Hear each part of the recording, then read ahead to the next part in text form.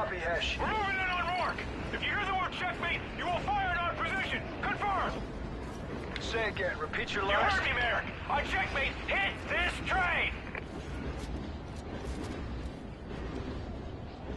train. Time to breach. We can't take any chances, Logan. Even if we fail, Rourke dies.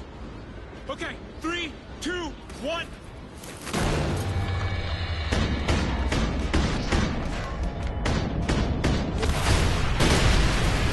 Whoa.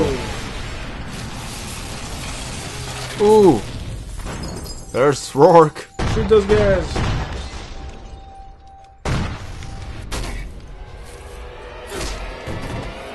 Ooh. Where am I going? You can't win, Rourke. It's over.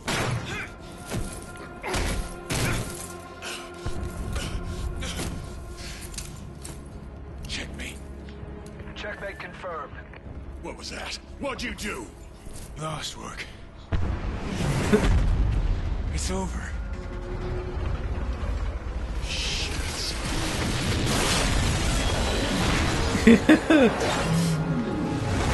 No.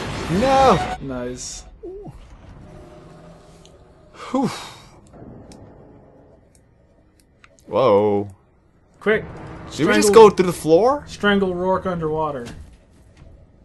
Dude, there's people going through the floor. Yep. Get the gun. Oh, it's his gun now. Oh. Trying to grab the gun here.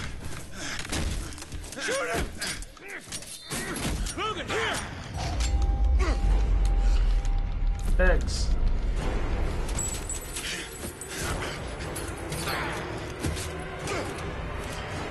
Spin the gun, bitch. Oh.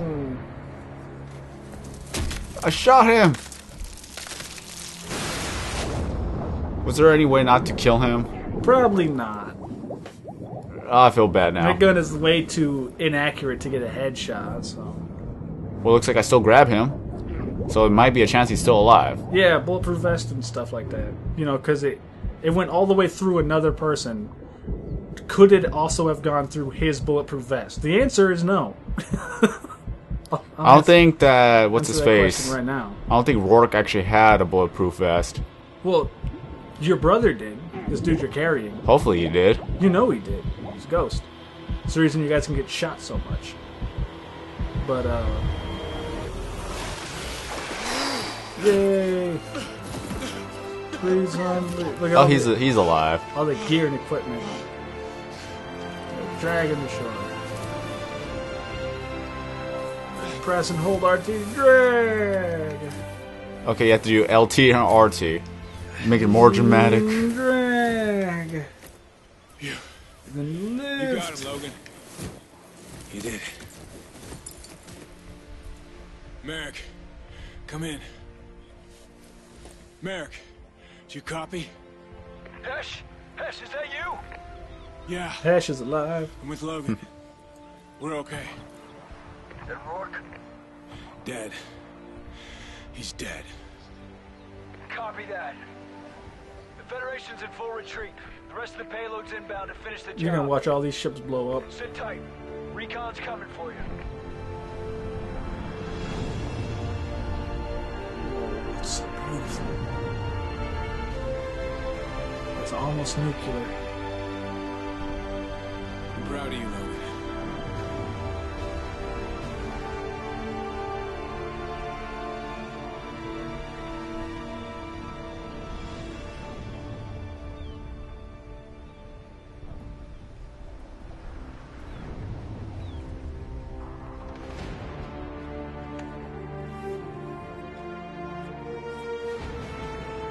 So literally, This campaign- Ghosts. It's pretty much around four hours or less. Yeah, I mean they're never long, and they try to make them as visually impressive as possible to show off all the cool things they can do with their company. But really, the only reason people play this crap is for multiplayer. And even then, it's only because so many other people play it, they get to have fun shooting each other in the face like a pack of animals. These aren't good games. Cutscene.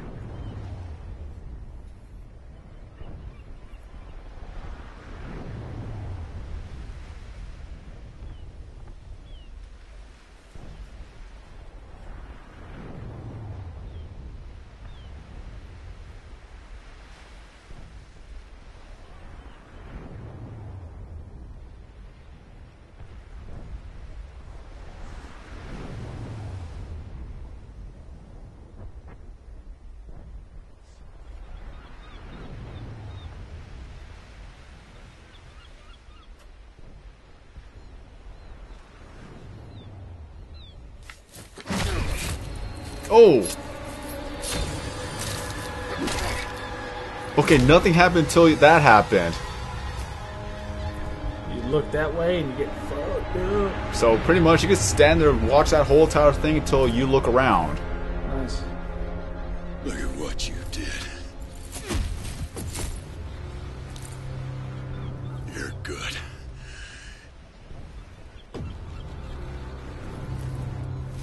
You'd have been a hell of a ghost. But that's not gonna happen.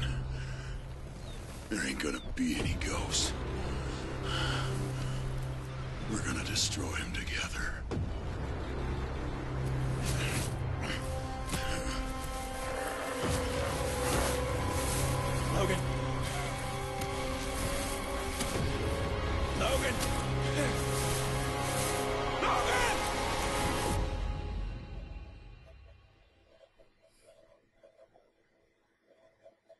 Is there more?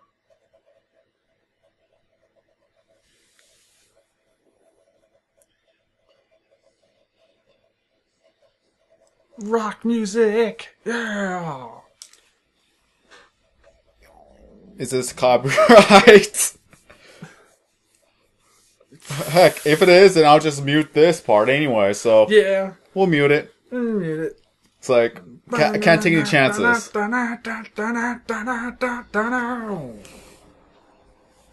Yeah, that's definitely copyrighted. It's Eminem. Yeah. Copyright. Alright, I'll be right back. You go rant on about how much you don't like Call of Duty. Hate it. I'll go back to my previous argument. Yeah, so as I was saying, before that extra cutscene, which was really cool. I love it when the bad guys sort of win at the end. It's very nice. It's more cliche than it used to be now.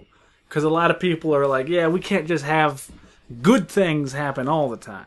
But, but yeah, these campaigns are very short. They're very visually stunning. It shows off everything that they can do, all the fun stuff they have. We saw a lot of fun stuff they didn't do. We saw a lot of lazy stuff and a lot of a lot of stuff that didn't make a lot of sense, like dog murdering people next to other people who were really close by. You can even show a lot of if you know what you're doing, you can show a lot of really bad things in this game as well.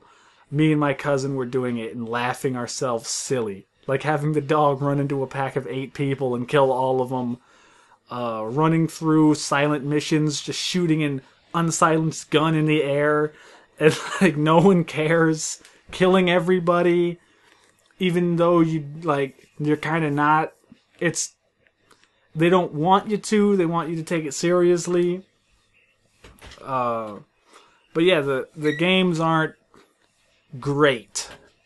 They're not fantastic games. They're just average in every way, and they just happen to get really lucky that they have an, a very addictive to play, easy, fun, and very competitive multiplayer. And that's that's all they got. They got lucky. That's it. They're not good. Your arguments, sword. Even though I was not here for any of it, but hey, Well, you heard the final part of it. well, still, even if it's just the same old, same old within every game, it's still fun because everyone wants to play it. And if you're done with one game, what else are you gonna do? Oh If you want, you want to play a different game. You just can't be playing the same game over and over and over. Even if it's a different title, it's still the same game, but it's just more of a different experience. It's like you got everything that you want to do in this game. It's not like you could restart because it's just going to be the same thing. Yeah. You want something different. You would like to see different visuals. You like to see different types of games or different types of things that they could put up for a game. And it's what Extinction is, even though I have not yet played it. Yeah, see, I, I understand that argument. I understand where you're coming from. But to me, new weapons, updated graphics, and a, and different maps don't make a game new or even better.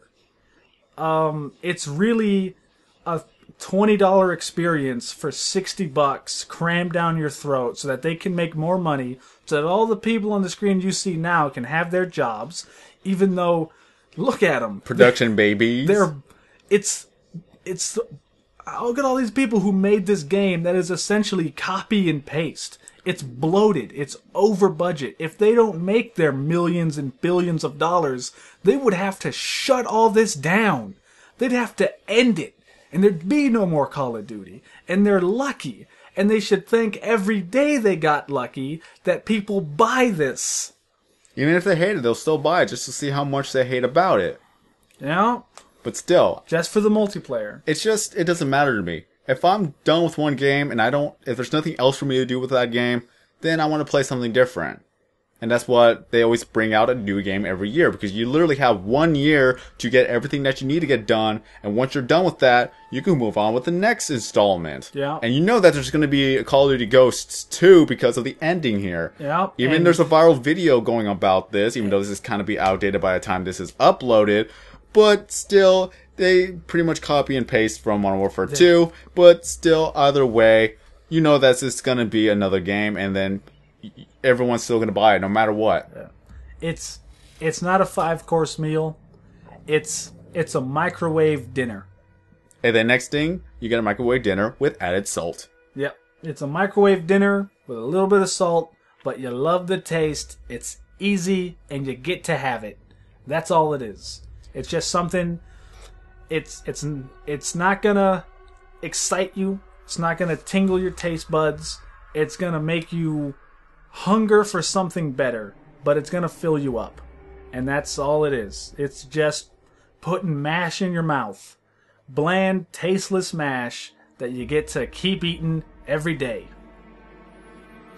But either way, I'm still a Call of Duty fan. I'm still, I, I could say I probably, I can't say I'm a Battlefield fan per se. I like the games, but it's just something I don't want to buy anytime soon.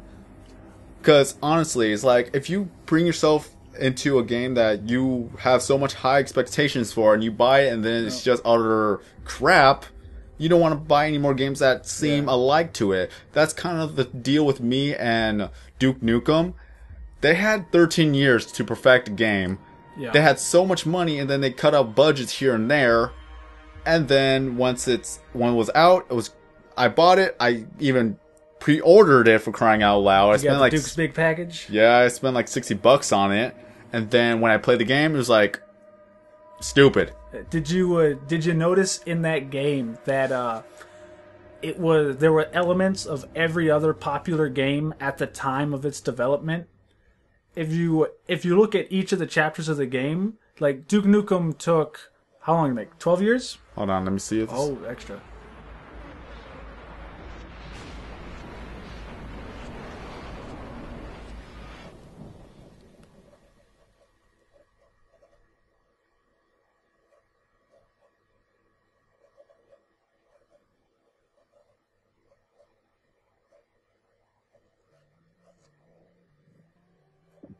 Okay, that was it. Just pretty much you see yourself trapped now. You see the little cage around you. Yeah, you. saw the time speed up real fast in there. So you, it's giving you a glimpse of what's going on in the next game that you know this is going to happen.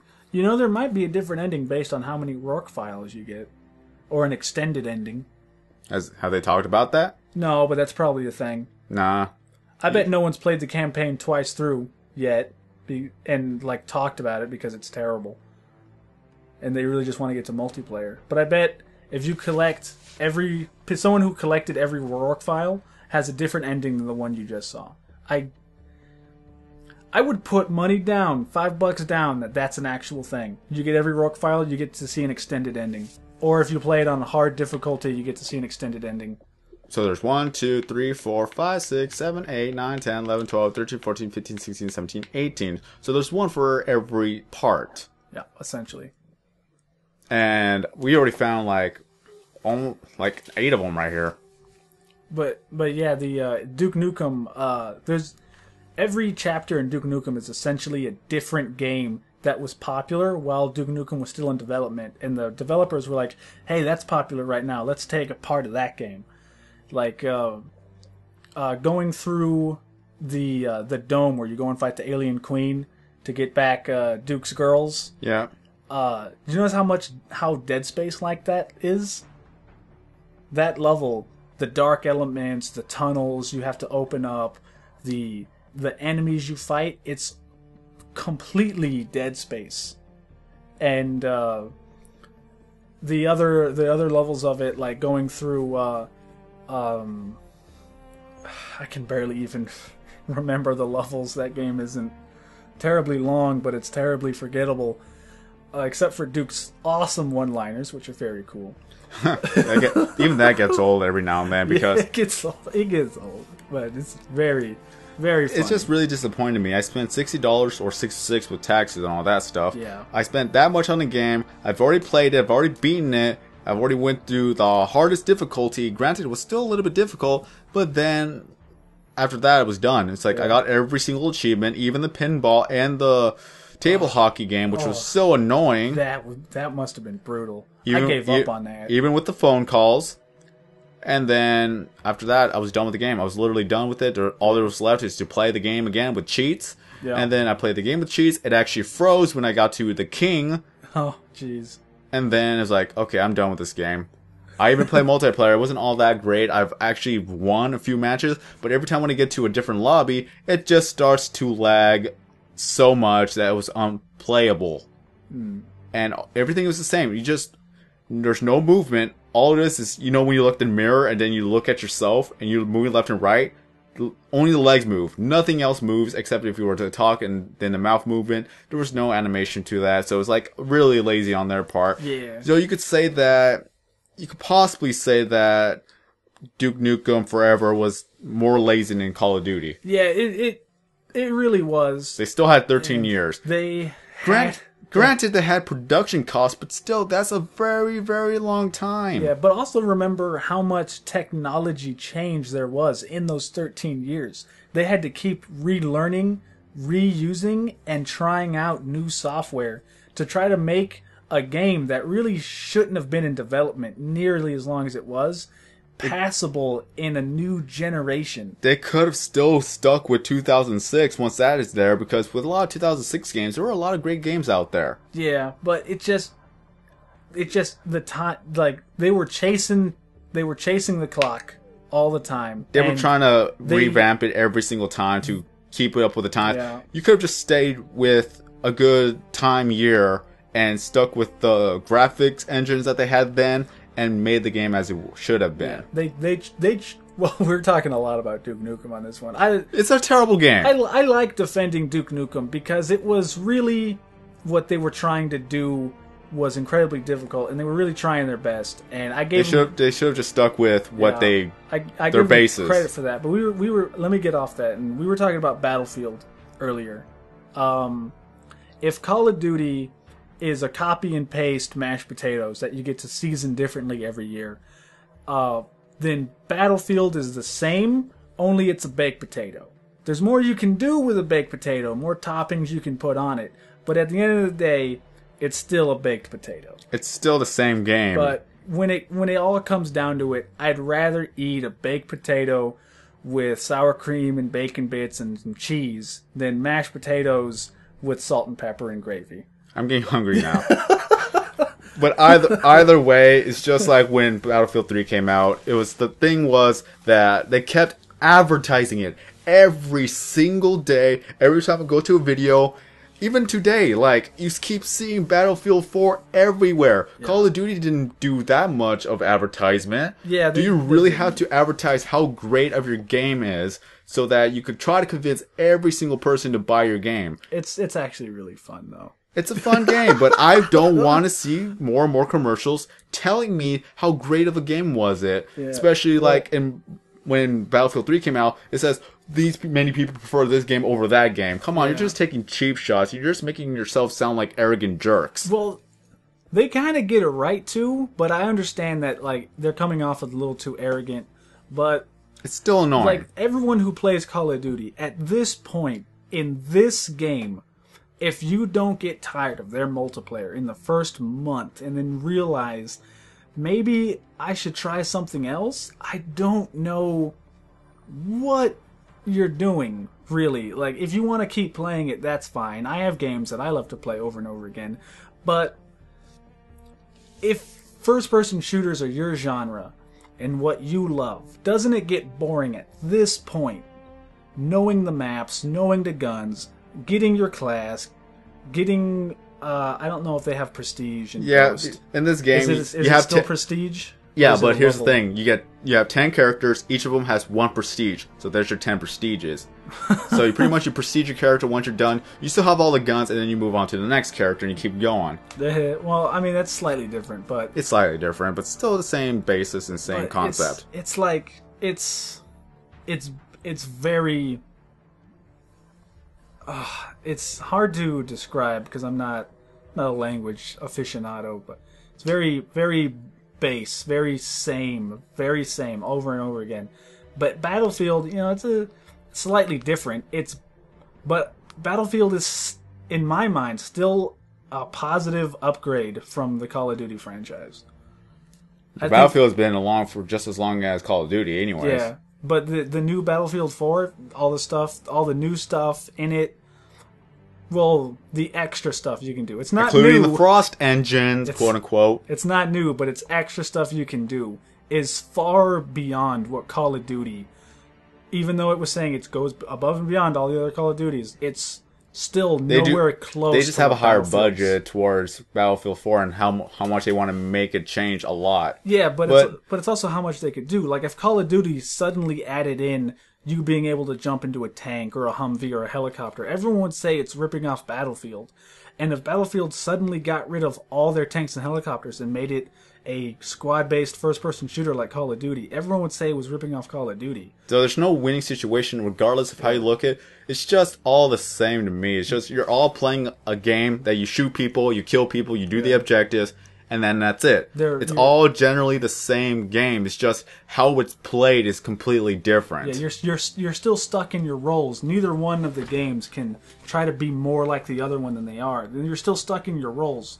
But Call of Duty's role has been filled to the point where they're in space now. And when you get to space, you're done. There's no going past space. It's the final frontier. and they even went underwater, even though we said earlier it's exactly the same as when you're is playing Super Mario 64. And And then space just reminds you of Halo. Battlefield still has a little wiggle room with what it can do before it has to be going to space and stuff. And there's a lot of really cool stuff you can do in Battlefield. Like the commander, you get to oversee the whole battlefield on a little tablet and stuff. That's that's friggin' amazing. I was like, that's actually really cool. And how far can you go with Battlefield before the storyline itself gets a little bit boring? And as as far as it went with Call of Duty, at this point there is no more story in Battlefield. because they're making they're making different stories within each offset franchise, like how Yeah. Black Ops and Black Ops Two went, and now they're doing Ghost, which is completely different than Modern Warfare and the Black Ops storyline. they're all both games are stuck as far as what they can do. But you know, there's just there's a little more a little more room on the battlefield side, and I think a lot of people will probably find themselves going over the Battlefield shortly. I wouldn't be surprised if uh, the massive Call of Duty fan base drops off a little bit after this game.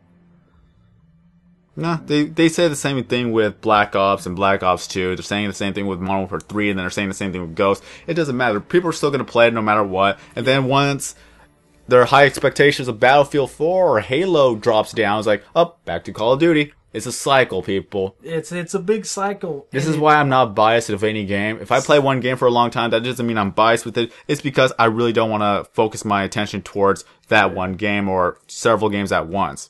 yeah, yeah.